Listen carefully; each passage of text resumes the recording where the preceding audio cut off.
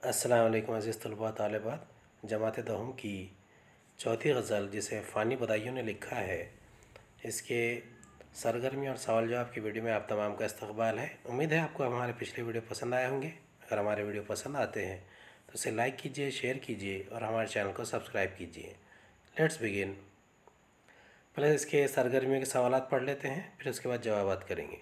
शायर के मुताबिक दुनिया की हैसियत लिखिए दूसरा, ज़िंदगी के मुतालिक फ़ानी का नज़रिया बयान कीजिए।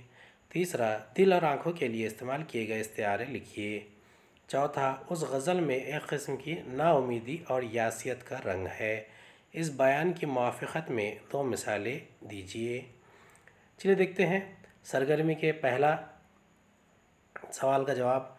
शायर के मुताबिक, इस वसी व अरीज़ कायनात में दुनिया की हैसियत एक गोशे की सी है।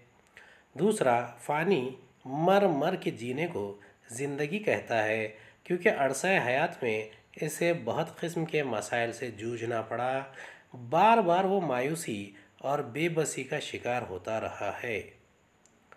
तीसरा बार बार इसे ज़िंदगी पर लुत्फ़ और हसन व सरत भी भरी नज़र आती है। तीसरे का सवाल, दिल के लिए शीशा और आँखों के लिए पैमाने के इस्तारे इस्तेमाल किए गए हैं। चलिए अगला देखते हैं नाउमीदी और यासियत का एहसास दिलाने वाले अशार। पहला शेर है, ज़िंदगी भी तो पशेमा है, यहाँ ला के मुझे। ज़िंदगी भी तो पशेमा है, यहाँ ला के मुझे। ढूंढती है कोई हीला मेरे मर जाने का। ढूंढती है कोई हीला मेरे मर जाने का। दूसरा शेर है, हर नफस उम्र गुज्त की है मैत फ़ानी। हर नफस उम्र गुज्त की है मैत फ़ानी। ज़िंदगी नाम है मर मर के जिए जाने का। चलिए अगला सवाल देखते हैं। फ़ानी फ़ानी बताइए से मुतल रवा खाका मुकम्मल कीजिए। दूसरा सवाल जैल के शेर की इस्तेसानी वजाहत कीजिए। ज़िंदगी भी तो पशेमा है, यहाँ ला के मुझे ढूंढती है कोई हीला मेरे मर जाने का। चलिए जवाब देखते हैं। रवा खाका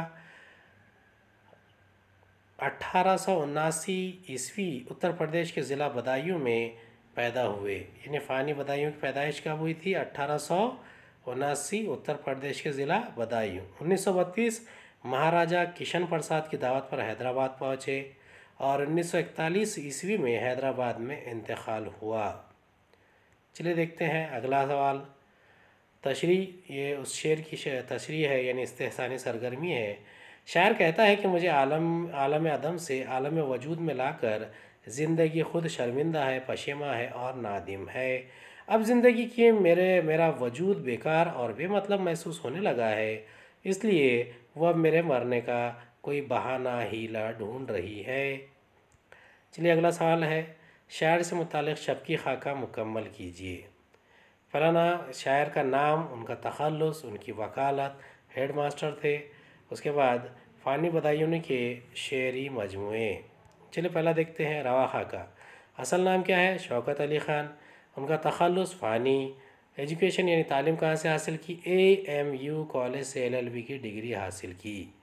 और चौथा सवाल, हैदराबाद के एक सरकारी स्कूल में मदरस मुखर हुए।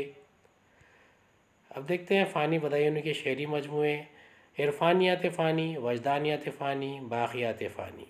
उम्मीद है ये वीडियो आपको पसंद आया होगा। अगर हमारा वीडियो पसंद आता है तो उसे लाइक कीजिए शेयर कीजिए और हमारे चैनल को सब्सक्राइब कीजिए। चलिए अगला शेर है। हिदायत के मुताबिक शेर लिखिए, मतला का शेर हसन मतला, मख्ता और इस्तारा मतला का शेर पहला खलक कहती है, जिसे दिल तेरे दीवाने का एक गोशा है, ये दुनिया ऐसी वीराने का।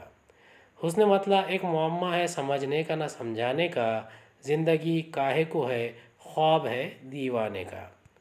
चलिए, अगला मख्ती का शेर है, हर नफस हर नफस उम्र गुज्त की है मैत फ़ानी, हर नफ्स उम्र गुज्त की है मैत फ़ानी, ज़िंदगी नाम है मर मर के जिए जाने का। अब सनत इस्तारा का शेर, दिल से पहुँची तो है आँखों में लहू की बूंदें, दिल से पहुँची तो है आँखों में लहू की बूंदें, सिलसिला शीशे से मिलता तो है पैमाने का। उम्मीद है ये वीडियो पसंद आया होगा, अगले वीडियो में दोबारा मुलाकात होगी, तब तक के लिए